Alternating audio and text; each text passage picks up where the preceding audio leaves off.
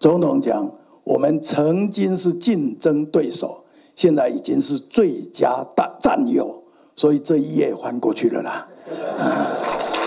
幽默的开着玩笑，前行政院长苏贞昌在新书《护国四年》发表会上，轻松将过去和总统蔡英文的政敌关系一句话带过，让大家都笑了。两人接下来的谈话反而处处显得温暖。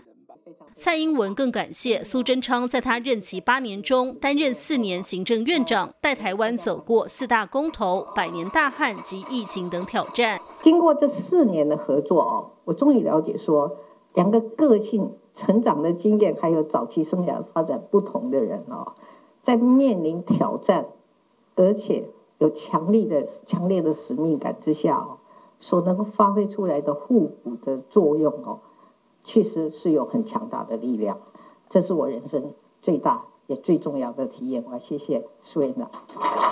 蔡英文表示，在政治这条路上，与苏贞昌有竞争，也有合作。而苏贞昌在很关键的时候，都会以前辈身份给自己提点。也感谢苏贞昌担任院长四年，带领行政团队与总统同心协力，为国家奠定基础，让台湾的路更有方向感、更踏实。而苏贞昌则表示，这本书并不是在写政绩，而是台湾走过的挑战。我是在写这一个团队在蔡总统领导下。